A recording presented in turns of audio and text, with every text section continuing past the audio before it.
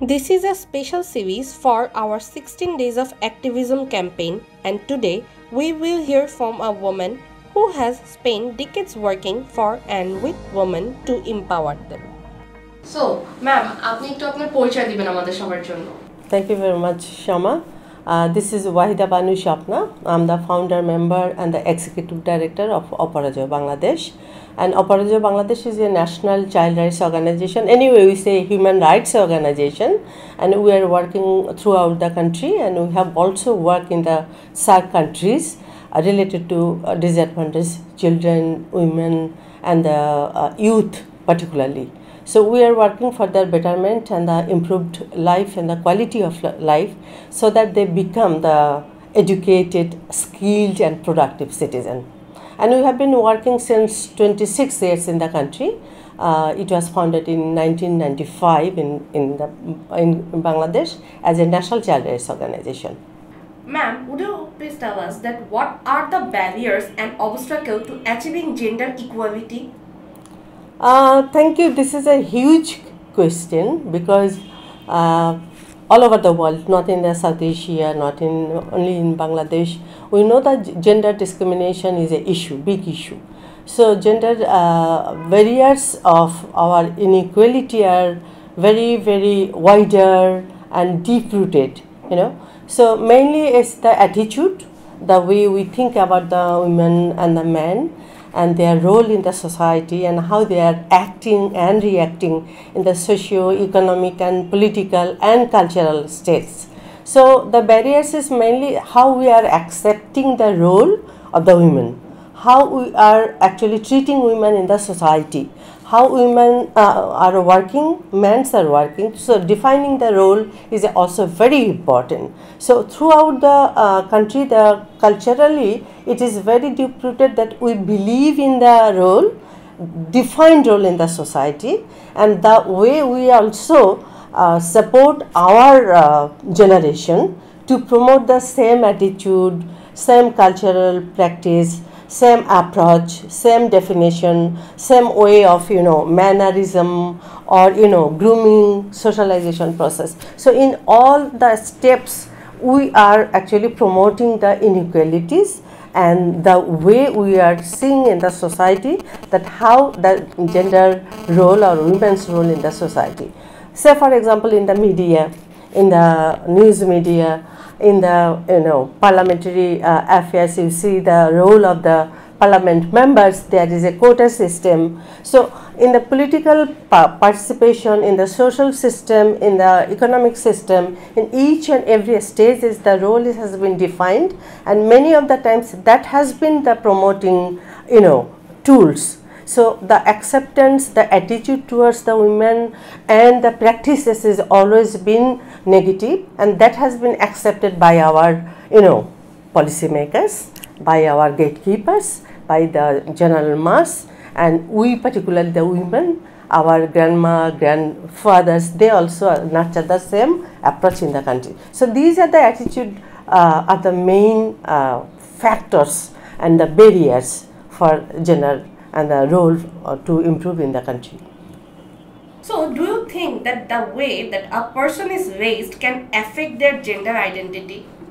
obviously. Because the social system and the socialization process and the grooming system is such a way you know right from the beginning of their life even the newborn babies they are the way they are treated in the country in the family in the society the role has been defined since then so boys and the girls are differentiated in the different way and the total grooming process and the socialization process in the family in the school in the society even in the state party it is widely and clearly written up.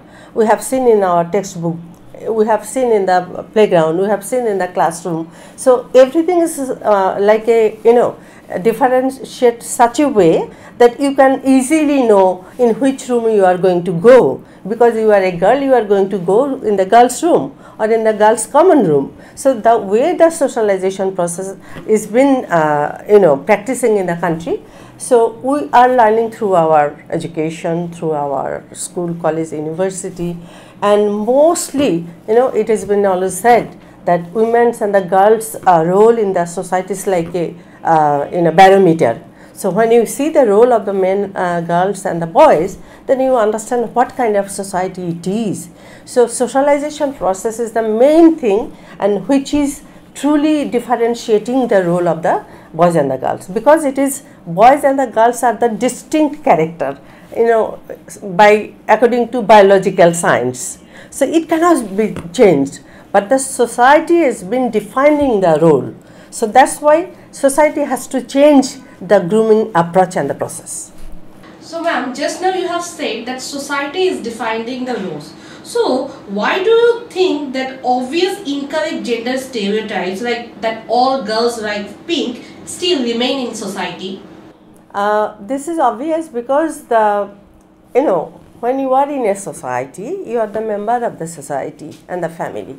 So you understand that how you are raising up with your parents, with your teachers, with your friends and the peers.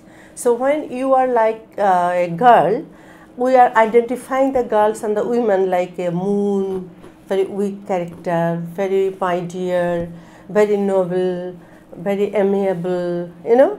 The approach has to be like a very feminine. So the way it is defined the character, the way uh, they are linking the their likings and dislikings. So when you are a girl, you're very soft, so you like the flower colors, you know, pink is a mostly flower color. So you like yellow orange pink these are the colors. And for the boys always boys has been treated like they are sun they are lion they are very powerful. So they like blue or they like white or they like black. These are the it's sort of like symbolic you know issues and stereotype issues in the uh, society but it's not that we are not uh, coming out from the barriers it's not that we are coming out from these stereotype choices of our life. there are always uh, uh, options, alternative options of the life. So when the people have a very clear understanding that uh, I'm not a simply a girl or woman, I'm a human being, then you can change your stereotype in another way. So this has to be a process, it is a long process, it's not very easy because it's a total concept of understanding that I'm a, first of all, I'm a human being, Homo sapiens, then I'm a girl, um, have a, I have a role in the society. So, if you understand very clearly that I am truly equal to a boy, so you can do whatever you like to do in the society. But it's not always that easy that whatever you like, you can do that in the society because when you will be practicing, the society will be identifying you that you are doing something against the social norms, social values, and many of the times it's linked with the religious values too. But no religion books has written ever that boys and the girls are not similar, they don't have equal power, they cannot practice the same thing. It is all about the society created the stereotype roles. That's why many of us, many of the girls, they like to be a very nice girl in the society, so called good girls in the society. What is the difference between gender equity, gender equality, and women's empowerment? Gender equity, equity is like uh, justice, you know, judgment. So, the way we are working boys and the girls, the way we are judging the boys, the same way, in the same manner, in the same tools, in the same measure, we have to judge our girls and the women. So, in any way, it never been uh, done injustice to the women. So, it is all about the strategic part. It's not the needs and the demand we are approaching to. So, equity is something like very weak. Say, for example, uh, we have a quota system in the parliament so we say, okay, why not? We need that uh, women's, uh, you know, participation in the um, our parliament. So that is something like this is a question of equity because it is not a, a total judgment to the women folk and the women uh, parliamentarian members. So it is sort of like positive discrimination. We said, okay, you are a man, so you cannot fight for equally with the men so be there as a women parliamentarian members. So this is something like a good example to understand that if they are doing the direct election, then it comes like, okay, they are in a equity practices is there. So this is very clear that judgmental issue, fairnessness, or same way it has been given distribution is been done, treated uh, treatment is done, responsibility goes such a way it has to be equal partnership and participation. These things are very much related to equity. And equality is something like, okay, we are doing anything is doing that same way it will go. Like it's it's not power practice, but it is a opportunity practices. It's like service are given to you. Uh, like you are going to school, your brothers also going to school. So given the priority is like uh, okay, we are giving opportunity. We are giving a little bit of doing a little bit of favor that both of you can go to the schools or the colleges or can participate in any events. So that is sort of like you know boys and the girls, men and women they are uh, participating or we are as if we are giving you the you know scope, giving you the opportunity, giving you the responsibility or a bit options okay you can join. So this is a sameness or you equally you are doing boys and the girls same way doing the same thing. But it is not judgmental not the justice are doing. It is very much related to you know, you know participating in uh, events you know like you are in the dining table having the food the food has to be distributed equally so you are having the food but many of the times it's not the practices. No? Always the good part of the food is always in the men's part, whoever is the man in the family members. So food habits is a big and very good example. And uh, women empowerment is a very vast issue.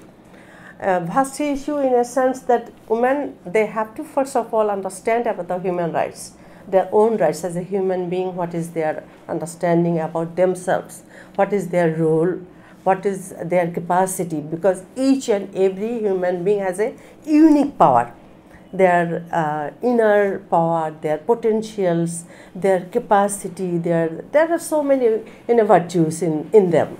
So they have to understand that they are having many understanding, capacity, knowledge. If uh, they are not educated even, they have many understanding, good knowledges at the indigenous level. So these are the things they first of all they have to understand. Okay, I know that who I am and how I'm going to do and practice my role in my family or in my working place or at the you know, society or maybe in the political party or wherever I am posted to.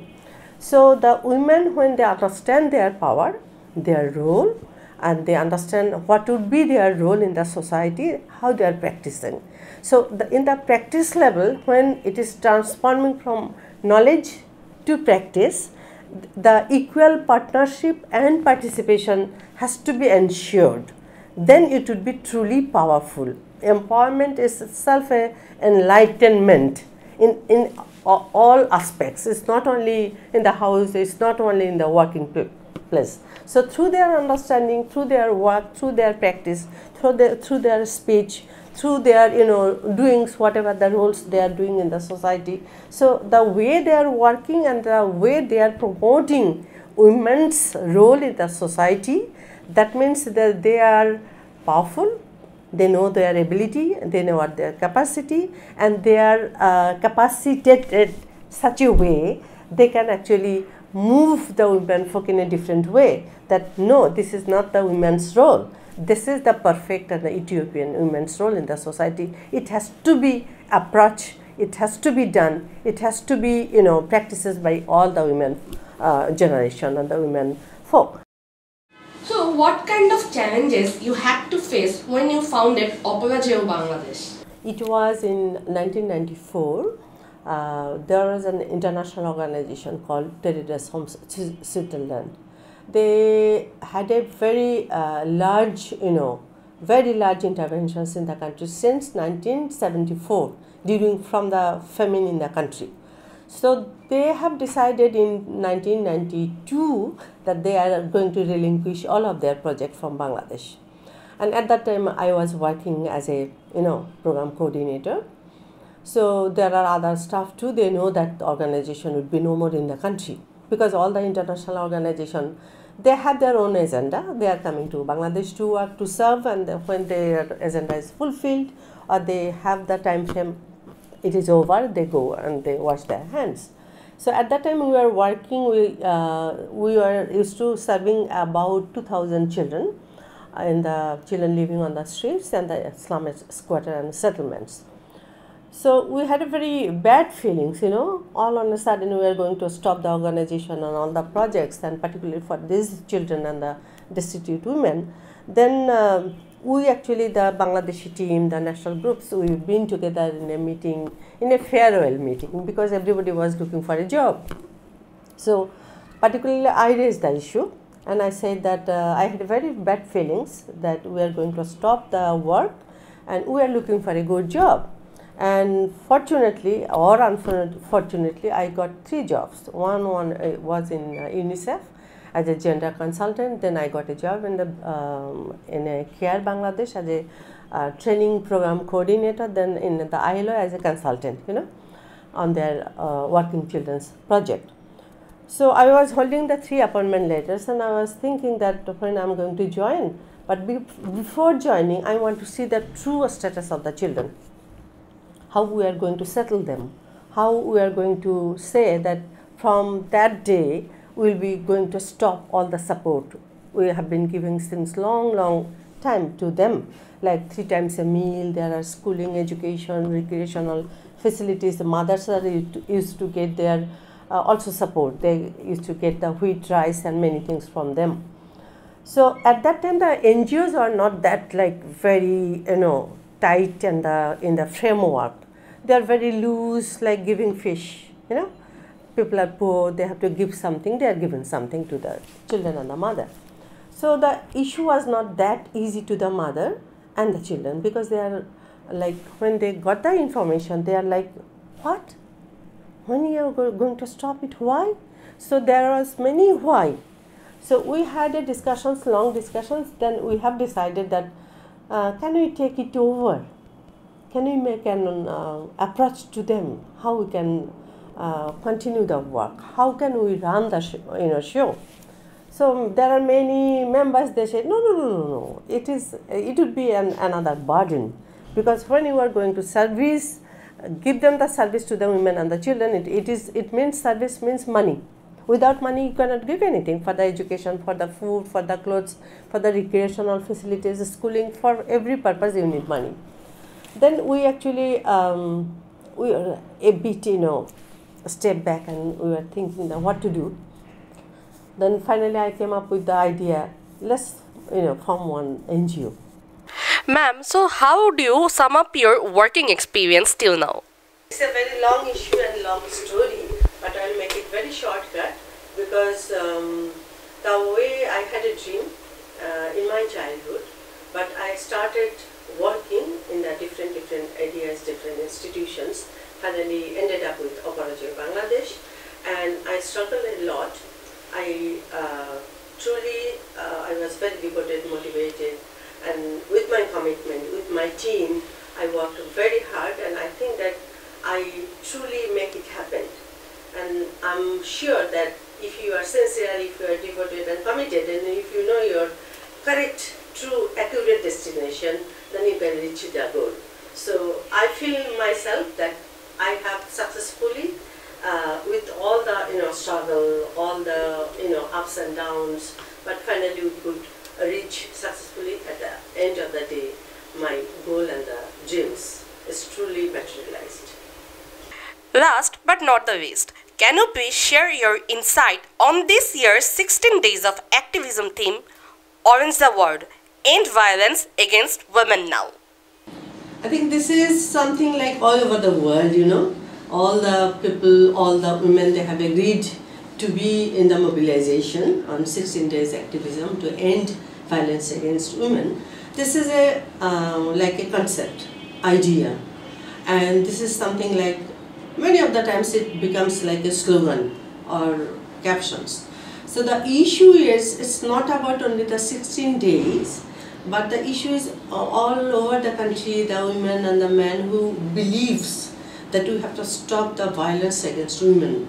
So they should be coming up with their ideas, with their work, with their approach, with their many interventions. Maybe many of them they never had the dream to work in that in this area, but now through these you know processes they have started something very new. So the issue that if we truly agree, I will say again at the family level, society level, at the national level, international level, if we truly believe that we have to end the violence against the women, so there are many things we have to implement. First of all, the attitude towards the women, then the how we are practicing the grooming process, socialization process, how we are teaching our generation, the students and the children, youth and the young generation and the young women who doesn't have that much, you know, understanding and the capacity. And then how many legislations, laws, policies are there in favor of the women's rights for the betterment, for the better quality of life, to improve their quality of life.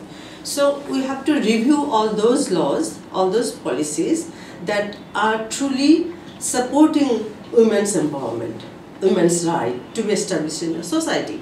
So this is the time we have to review the policy, review the uh, legislations, review the laws for the women so that we can say that this time we are reviewing our status, what is the socio-economic condition of the country. As per the given situation, we have to compare how much we have done previous days, how far we have gone, how much we have invested in this area, what was the budget for the women's empowerment, and how uh, it has been a true expenditure.